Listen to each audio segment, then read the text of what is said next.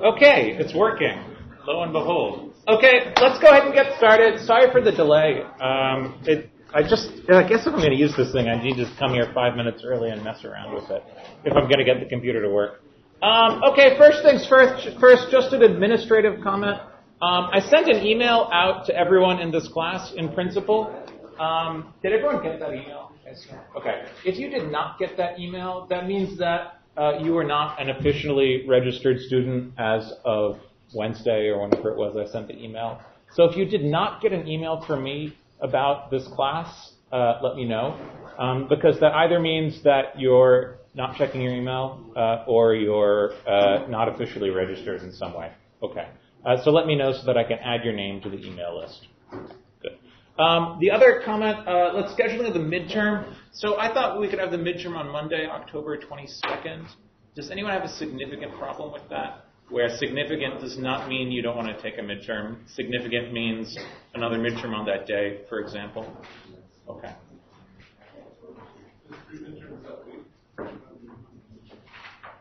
I mean, we could also do it the Friday before. I mean, I don't. Would how many people would prefer to do it the Friday before? How many people? Okay, raise your hands high. High. High. Okay. How many? Whereas, how many people would prefer to do it that Monday? Okay, let's just do it that Monday. It seems like. Uh, sorry. Okay. Um, it seems like there were a few more people voting for the midterm on Monday, October 22nd. Okay, in class. Um, and as the date approaches, I'll give you more information about it. But for now, it's distant future. You could be dead by then. Don't worry about it. Okay, let's continue with our discussion of special relativity. So I would like to start by just reminding you of the two basic uh, principles from which one can derive all of the interesting uh, physical consequences of the theory of special relativity. The first is uh, the general principle of relativity, which is that absolute velocities do not matter, only relative velocities matter. So, for example, if I were to perform an experiment in this classroom and obtain some outcome from this experiment, then I could take this classroom and put it on a train which is moving at 100 kilometers an hour, and I could perform the same experiment and I would get the same result. There would be no way for me in a laboratory in a closed environment to determine my absolute velocity. Only relative velocities matter. And uh, relativity is a feature of Newtonian physics, in particular because of the Galilean invariance of Newtonian physics. But uh, it is also in contrast with the second uh, fact about physics that we introduced last time, namely that the speed of light is the same in all reference frames. Namely, it is the same to all observers. Now, uh, this is in contrast, uh, at least naively, with the first principle, because I could imagine that I have a flashlight here, and I could shine the flashlight against the wall, and you could measure how long it takes the flashlight to get the light to get from me to the wall, which would be something like you know uh, 15 or 20 nanoseconds. And then you could do another experiment where I'm in a train and I'm moving very rapidly to my right, for example, and then you would observe that the light would appear to be uh, faster from your point of view because it would be given by 3 times 10 to the 8 meters per second plus whatever my relative velocity is on the train compared to yours. But according to Maxwell's equations, that is not in fact how the world works. Uh, if I shine a flashlight on the train, then I will observe that light to travel at the speed of light, and you will observe that light to travel at the speed of light, independent of our relative velocity. And this is a, a quite radical departure from Newtonian physics, but in fact, it is a fact about the world, which is not just a theoretical consequence of Maxwell's, Maxwell's equations, but is in fact a true fact about the way the world works. And later on, at the end of this class, I'm going to be reviewing a bit of the experimental and observational evidence for special relativity, where I'll tell you about some of the experiments that have been done to test this fact. But before doing so, I just want to go through some of the basic consequences of these two facts.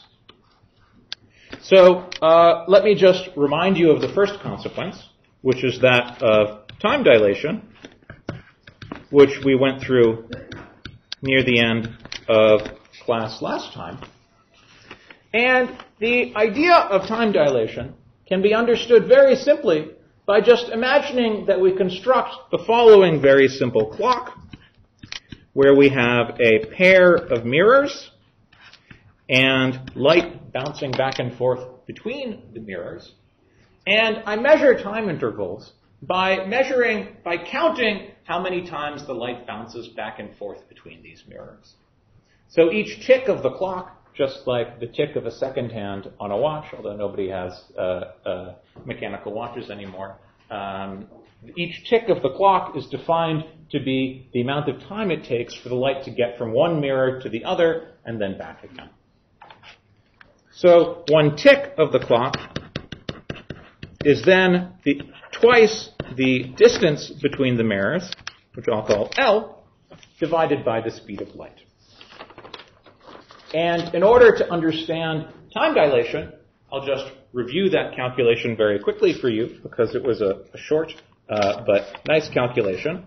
Is we just imagine building two of these clocks, which are identical in every way, except that one of them is going to be at rest with respect to us, and the other will be moving with some relative velocity.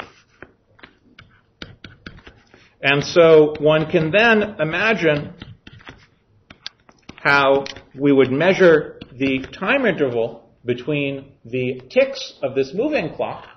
So we have this one clock here which is stationary, which is not moving, but the other clock would, the light would be emitted from the lower mirror at some time t1, received by the upper mirror at some time t2, and then return to the original mirror at some time t3. And one can then calculate these time intervals in terms of the distance d that this clock has moved in between the emission of the light from the lower mirror and the receipt of the light at the upper mirror. And so, uh, by definition, t2 minus t1 is the distance that the light travels, namely L squared plus d squared divided by c, because light travels at the speed of light. Whereas also the distance is equal to the velocity times the amount of time it takes the light to get the, the, between the emission of the light from the bottom mirror and the receipt of the light at the top mirror. And so one can combine those two equations to derive an equation for T1 minus T2. It's very simple. You just plug the lower expression for D into the top expression for T1 minus T2 and solve for T2 minus T1. And this is what we went through last time. It's L over C divided by the square root of 1 minus V squared over C squared. So that uh, a tick of the, of the second clock will be longer than a tick of the first clock by a factor of 1 minus v squared over c squared. And that's a factor that occurs so frequently in special relativity that we give a name, we call it gamma. And because of the principle of relativity, this will apply not just for clocks that are built out of mirrors with light bouncing between them, but for any sort of clock.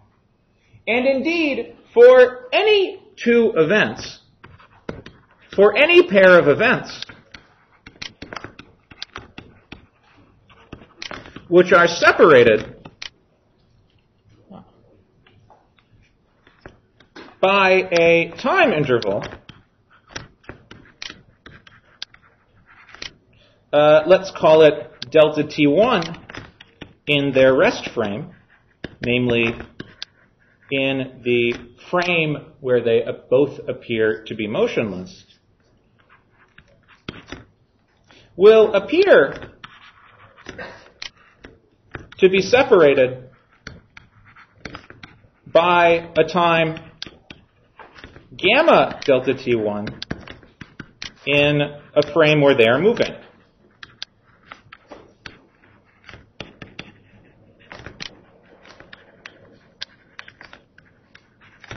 And since gamma delta 1, delta t1 is greater than delta t1, just because 1 minus v squared over c squared is less than 1, so its inverse is greater than 1, this is referred to as time dilation.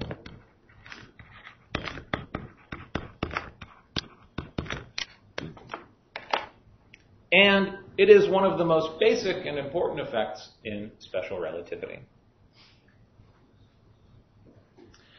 So I should make one point, which is that um, from the point of view of the clock which is at rest, the clock which is in motion appears to be going slower. So from clock one's point of view, clock two is slower. But remember that just as clock 2 is moving to the right with the speed v from the point of view of clock 1, clock 1 is moving with the speed minus v, that is to say, to the left with the speed v uh, from the point of view of clock 2. And so, by the principle of relativity, there's no difference. There's no absolute uh, notion of velocity, only relative velocities. And so that means that from clock two's point of view, clock one is going to be the one that is slower. So from clock two's point of view, clock one is slower. To understand this, all we have to do is just imagine doing the same calculation again. But now, let's do this calculation where I'm moving along with clock 2. So we just have to think about this calculation where I'm moving along with clock 2, so I'm moving to the right with a velocity v. That means that clock 1 is moving to the left with a velocity v. And so I do this exact same calculation, and I find that clock 1 is now slower than clock 2. So not only is the rate at which a clock ticks not an invariant notion in special relativity, there's not even an invariant notion of one clock ticking faster than the other. So whether clock one or clock two ticks faster depends on who is doing the observation of the ticking. So, in fact, this is an indication of a second of the important features of special relativity,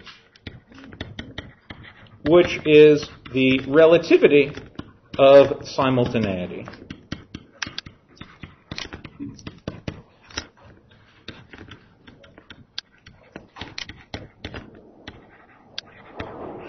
So the relativity of simultaneity is the statement that the ordering of events in time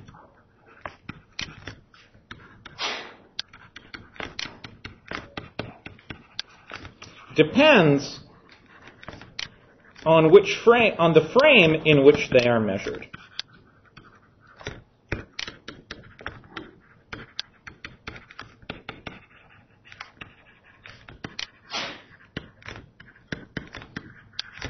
For example, in the above example, we could imagine that I am in the frame where I am at rest with respect to clock 1,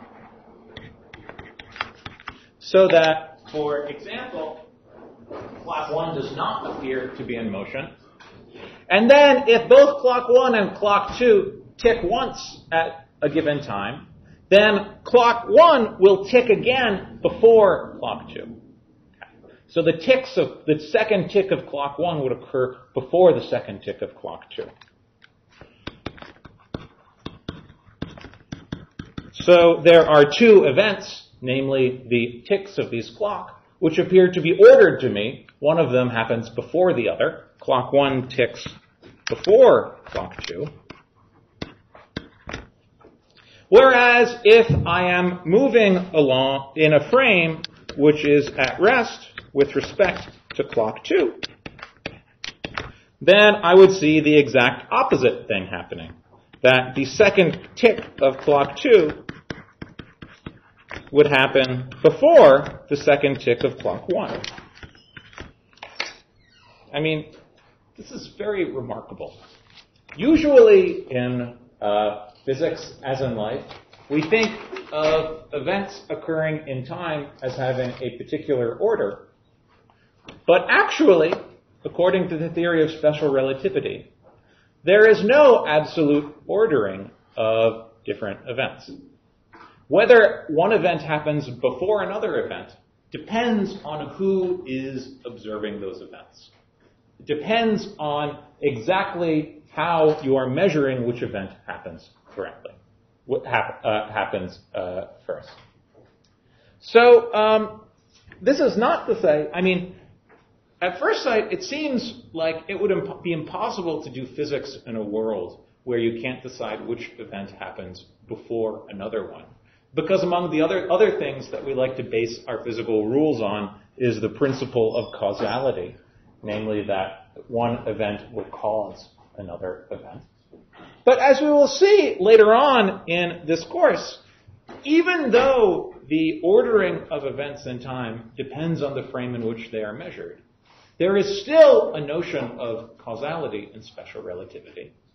And it turns out to be a perfectly good notion of causality, which we can use to do all of the physics that we are used to. Okay. So, despite this, there is still a notion of causality.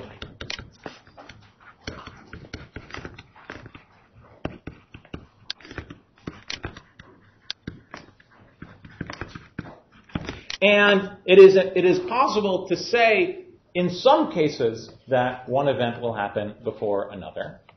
But the point is that it is not always possible to say with definiteness that one event will occur before another. And so uh, next week we'll dive into this uh, idea in much greater detail.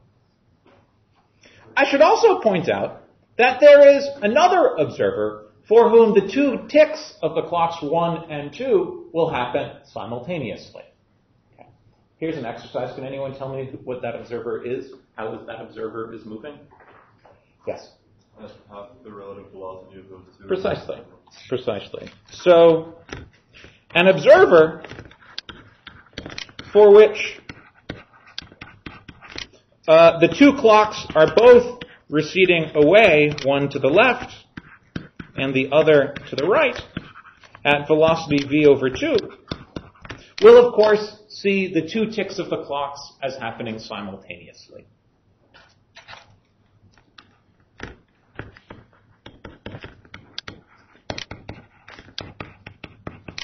And that is the origin of the phrase relativity of simultaneity.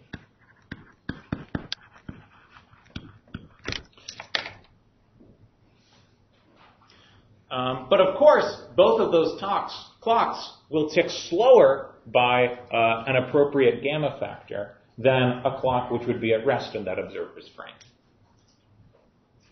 So we've learned about two of the three basic effects of special relativity, the effects of time dilation and relativity of simultaneity. And I would now like to present to you the third classic effect, namely that of length contraction. But before I do so, let me pause and see if there are questions. It takes a little while to wrap your head around this stuff. So uh, uh, one of the things that I'm going to do today is derive all these in one way, and then uh, starting next class, I'll derive them all again in a slightly more abstract uh, way, which will allow us to think more deeply about what this means for space and time. But yes, there was a question. Thanks for that.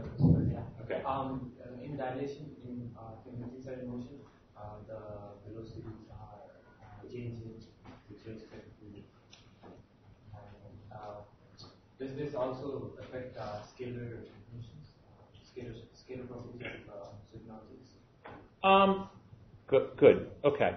Um, when you talk about when you use the word scalar, that's a loaded term, and so um, you know there. So here I'm talking about the measurement of time intervals.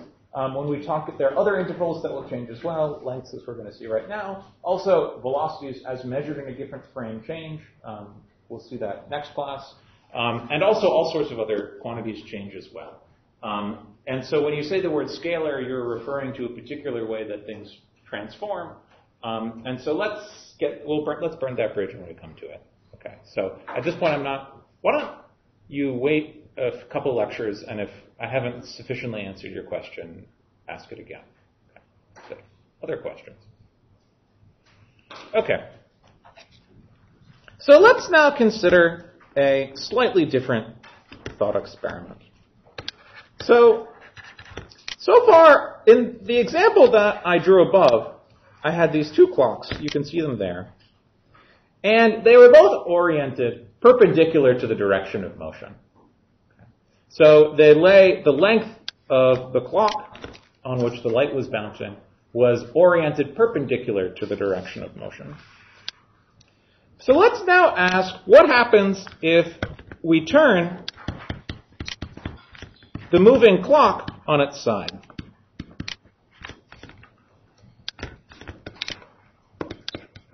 So that it is parallel with the direction of motion.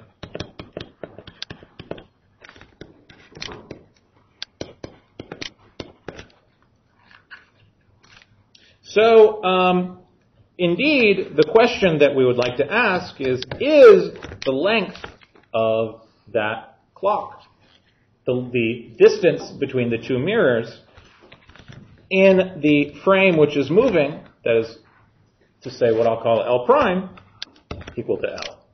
And you can already guess, I wouldn't be presenting this if the answer were yes. Okay. So let's go ahead and understand that. So here's the basic setup. So now at time t1, I have this clock which is oriented parallel to the direction of motion. So the distance between the two mirrors is given by L prime. Um, and uh, at time t1, the light will leave the left-hand mirror, and it will be received at the right-hand mirror at some later time t2, at which point it will bounce back and be received back at the right-hand mirror, left-hand mirror again at some time t3.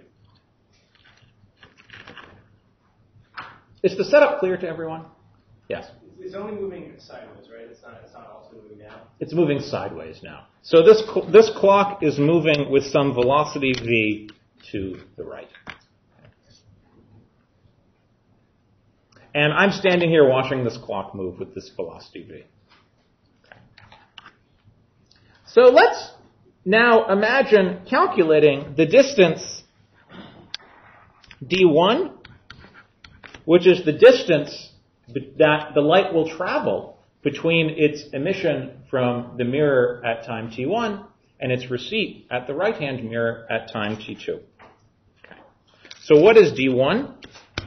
Well, d1 is the distance between the two mirrors, L prime, plus the velocity of the mirror times the amount of time it takes between the emission and the receipt of the light. That's just the statement that this distance, d1, is the distance between the two mirrors plus the distance that the mirror travels in the time interval t1 minus t2. But d1 is also c times t2 minus t1. Right? Because d1 is defined to be the distance that it travels between times t1 and t2. And, uh, time, and light travels at the speed of light. So this distance d1 is the speed of light times the amount of time it takes between time intervals t1 and t2. And so one could go ahead and take that second equation for d1 as c t2 t- minus t1, view that as an equation for t2 minus t1, and plug it back into the first equation.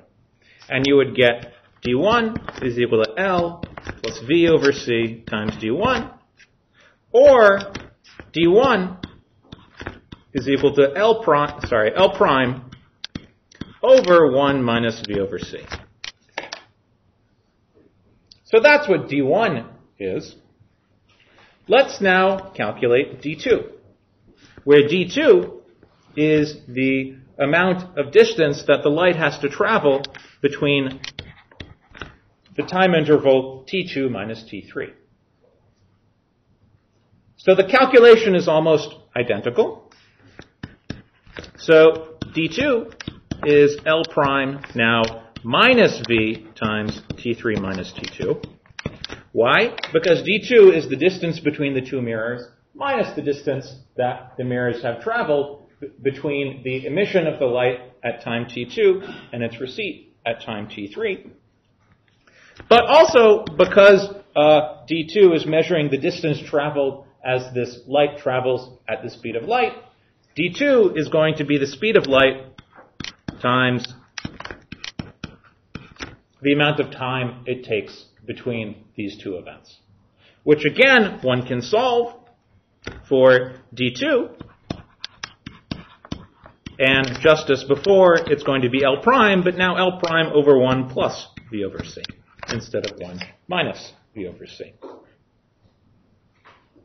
So, if we were to compute the total amount of time it takes for the light to be emitted, bounce off the mirror, and then received back on the mirror at the left, it will be d1 plus d2 divided by the speed of light, which is, what is that? That is L prime over C times 1 over 1 minus V over C plus 1 over 1 plus V over C.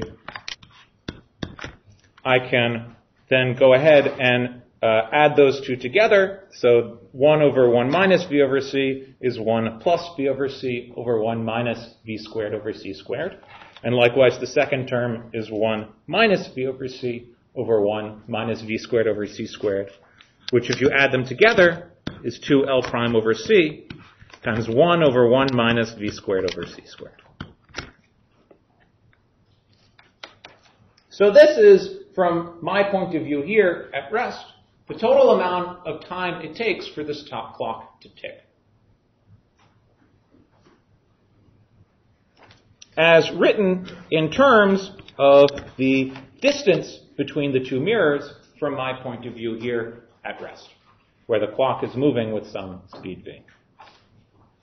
But remember that I have my own clock in this frame, which is ticking once per time interval 2L over C, not 2L prime over C.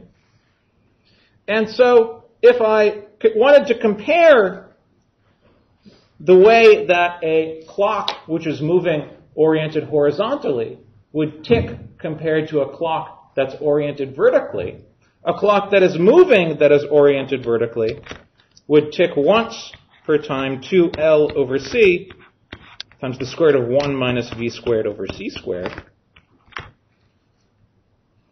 which, if I combine that together, tells us that L prime is L times the square root of 1 minus v squared over c squared. Let me say that again because I've actually just used a bit of a subtle argument. So what I did is I computed T3 minus T1 which is the amount of time it takes this clock to tick. Uh, a clock that is a, uh, oriented parallel to the direction of motion. And I've compared that to the amount of time it would take a clock to tick oriented perpendicular to the direction of motion. And the amount of time it would take the clock to tick perpendicular to the direction of motion is given by the time dilation formula,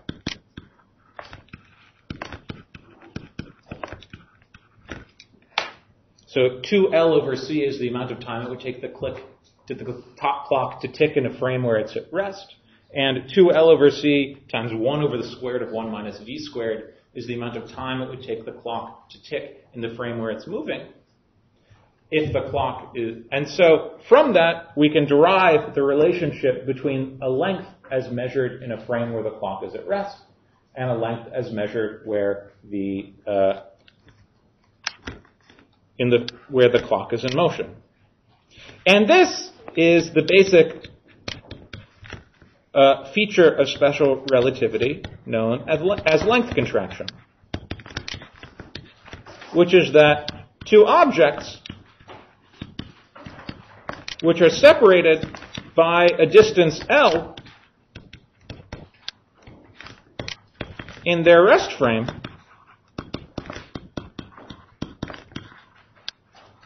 Will appear to be separated by a distance L over gamma, which is less than L, where gamma is that scale factor 1 over the square root of v squared minus c squared, in a frame or to an observer that is moving with relative velocity v.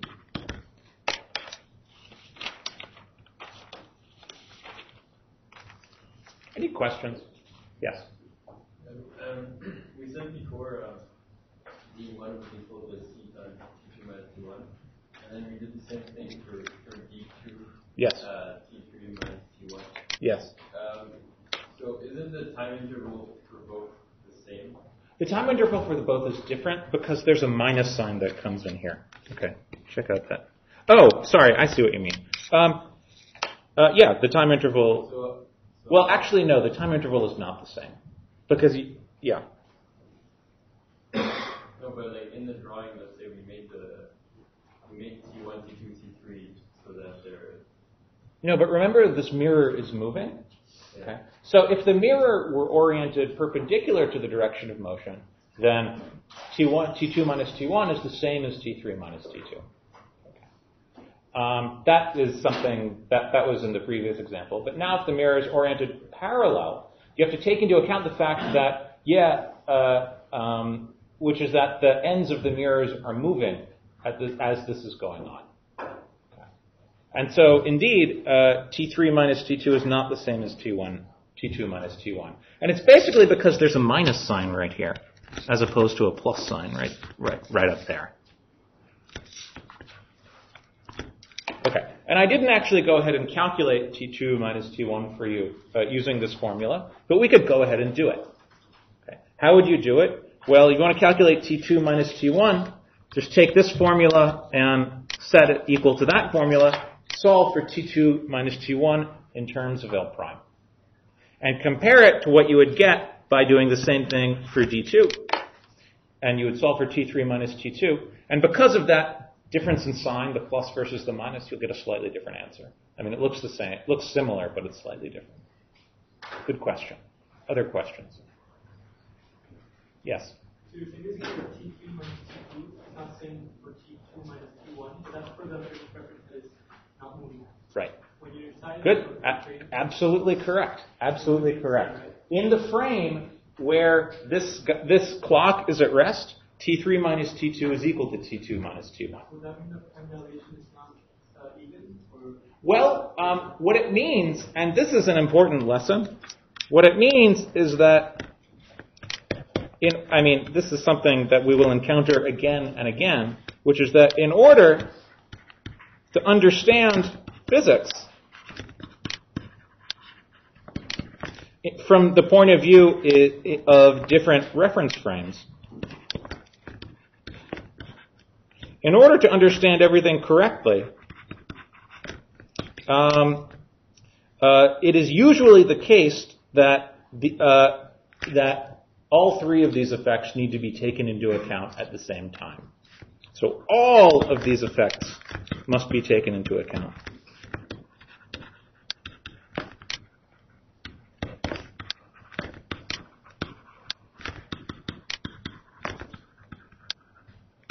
So, um, to put it another way, I could describe the experiment that I did above, the thought experiment that I did above, as uh, a sequence of events.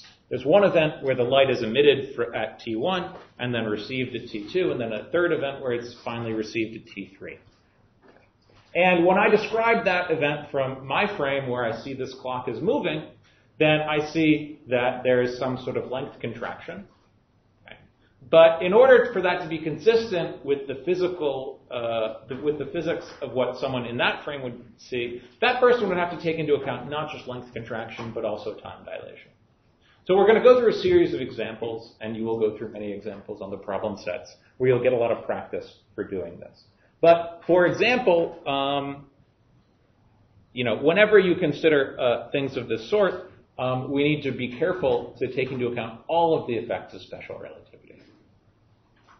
Indeed, this effect was derived using our result for time dilation. Okay, so you know that in order to understand length contraction properly, you also need to be thinking about time dilation. I mean, there's a sense in which uh, length contraction is more confusing than time dilation because when we talk about length time dilation, we're talking about the length of time between two different events that take place at given uh, uh, positions at a given time. But when we talk about length contraction, you, are thinking about, for example, the locations of these two mirrors as a function of time. And so um, a mirror is not an event, it's an object that exists for all time. And so you need to be a little careful when you, about defining your terms precisely when you say uh, what you mean by length contraction. And I've tried to be it, do it precisely here, but of course, uh, we're going to rederive this next class using Lorentz transformations um, and we'll understand it from a slightly different point of view. There was a question, maybe. No. Good. Okay. Um, I should take a moment to discuss, uh, at least very briefly, um, the experimental evidence for special relativity. So,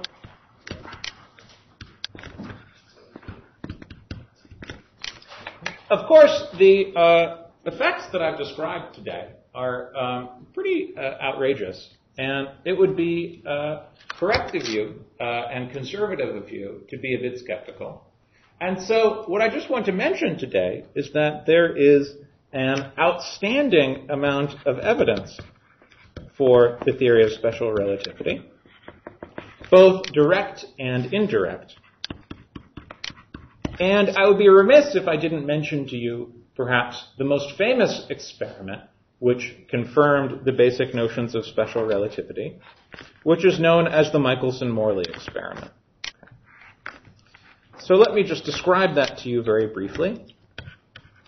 So the Michelson-Morley experiment consisted of a pair of mirrors that were mounted on perpendicular rods, and then a light source was shone on a, a semi-silvered mirror Okay. I love so cool to talk about semi-silvered mirrors, which split the light in uh, two perpendicular directions so that they both bounced off the two mirrors and then came back and recombined and were projected onto some sort of screen. And these two uh, uh, light beams will interfere when they come together at the screen. And by studying the interference pattern, you can understand the relative distance traveled by these two beams of light. And in particular, any change in light travel time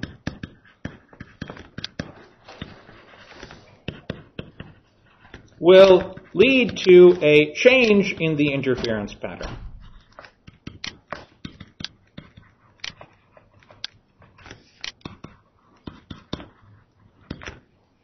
And so the Michelson-Morley experiment was a very simple one. They just used the fact that the Earth is in motion around the sun, so moving with some large velocity, 30 kilometers per second. And so if the speed of light depended on the reference frame in which it was measured, one should be able to perform this experiment, obtain one result for the interference pattern, and then wait six months and obtain a different result for the interference pattern. Or if you're not interested in waiting for six months, you could just rotate this experiment by some angle. You could just rotate it by some angle relative to the direction of the Earth's propagation through the solar system, and the interference pattern should change. And what Michelson and Morley observed is that the interference pattern did not change, implying that the speed of light is constant in all reference frames. So there's actually uh, an interesting historical story here. So the Michelson-Morley experiment was actually done um, before Einstein published his papers on special relativity. But as far as we know, Einstein didn't actually know about it. So as I reviewed last class, one can actually um, conclude that the speed of light is constant in all reference frames simply based on the Maxwell equations, which of course had been known since the late 19th century. And um, the Michelson-Morley experiment was, in a sense, only a confirmation of that theoretical prediction. And Einstein actually hadn't even heard about the Michael, Michelson-Morley experiment at the time that he developed the theory of special relativity. Although um, I think it's fairly safe to say uh, that if he had heard about it, that would have only made him more sure of uh, his results. Um, the other results, so this Michelson-Morley experiment is a test of the basic postulate of special relativity, that the speed of light is constant in all reference frames. But the various consequences that I have derived today have also been measured experimentally. So time dilation has been measured uh, directly, uh, literally by flying a clock up on a satellite or uh, even in an airplane, and uh, comparing the results of that clock to uh, those which we would see on Earth. Uh, so I forget the exact numbers, but the, uh, an astronaut who's flying up into space uh, will return to Earth slightly younger than an astronaut who's been sitting here on the Earth's surface. Um, not enough to matter very much from a practical point of view, but enough that can be measured by an atomic clock. Uh, yes, question. Um, well, like you said, uh, an astronaut in space would actually be younger than the astronaut in Earth, right? But then, from his point of view, uh, Earth would actually be yeah. moving, and should we also not go on? That's an excellent question. Okay, uh, you've just articulated a form of the twin paradox. Okay, which, just to let me restate, is the confusion that from the point of view of uh, an astronaut up above, it's the astronaut on Earth. I guess he's not an astronaut if he's on Earth. It's the normal guy on Earth who is um, moving, and so that person should be younger. But then when they meet, they really should compare notes, and one of them really is younger than the other. And it turns out that the this that um, the difference between the two comes from the fact that there is an acceleration. So the astronaut who goes up into space and come back, comes back down again is also accelerating. And so one has to take into account the fact that there's acceleration in addition to relative motion. Okay. So, um, so far I've just been discussing uh, constant velocity relative motion, but one can also use special relativity to discuss acceleration, and that's something that we'll do. Okay. Good question. So, um, time dilation has been measured uh, directly uh, using clocks, but also indirectly. So, for example, um, it's possible uh, to uh, create an elementary particle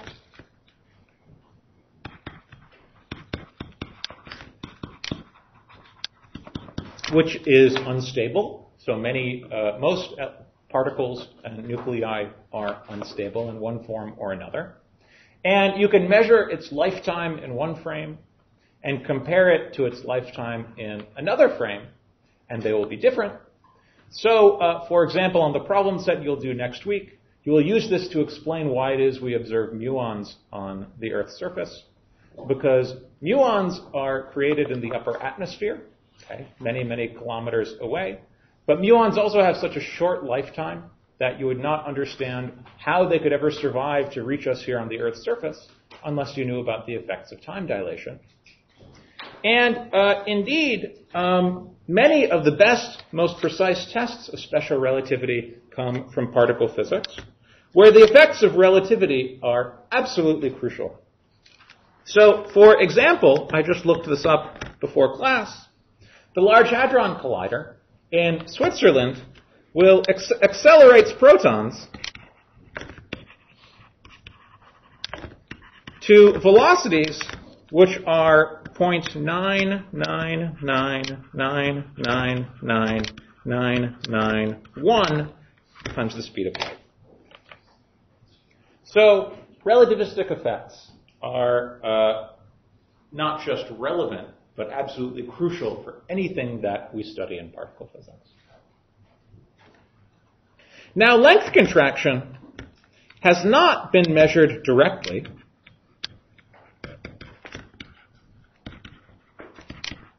Because whereas it's easy, relatively speaking, to build an atomic clock, which measures time intervals very carefully, it's rather, so it's very easy to measure changes in time intervals of a part in 10 to the 8 or 10 to the 9 or something like that. It's very difficult to measure changes in the length of an object to a part in 10 to the 8 or 10 to the 9. Instead, length contraction has only been tested indirectly, again uh, through particle physics experiments. Where, for example, you can imagine colliding two uh, neutrons together or two uh, nuclei together. And in fact, this is an experiment that is done. And because of length contraction, uh, one of the nuclei will appear to be flattened into a pancake from the point of view of the other nuclei. And this flattening leads to important uh, effects when you want to consider this uh, scattering process where two nuclei collide together. So, for example, uh, at Brookhaven, there's an experiment going on where gold nuclei are collided together, and uh, the correct description of this experiment, which matches all of the experimental data, is uh, a description where the gold nuclei are incredibly flat pancakes, okay, instead of spheres. And uh, without length contraction, uh, we would not be able to correctly reproduce the measurements of this experiment. But I would say this is not a completely direct measurement of length contraction, at least in uh, the way that one might like. Okay, there's a question. Yes. Is it because if you have two pancakes hitting each other, the distribution of the momentum will be different than if it's two spheres? Um, the distribution of the momentum will be different the density will be different. If you imagine taking all of the nuclei in a gold, a gold atom, which is a sphere, and squashing it into a really thin pancake, it'll be much denser.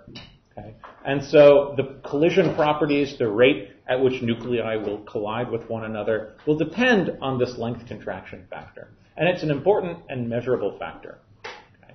So, um, and of course, there are all sorts of other quantities which are tested. So I have described for you the three basic effects of relativity, uh, but there are other sort of effects of special relativity that we will um, explore more in the coming weeks. Uh, for example, there is a relativistic version of the Doppler effect.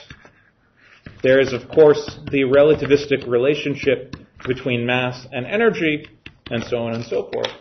And these have all been checked uh, to incredible degrees of uh, accuracy. I mean, for some of these experiments, for example, involving the timing of photons that are sent from quasars uh, a billion light years away, you have absolutely fantastic degrees of accuracy in these experiments. So I'm going to stop here, uh, and next class we'll move on to consider um, a bit more uh, abstractly the structure of space and time in special relativity.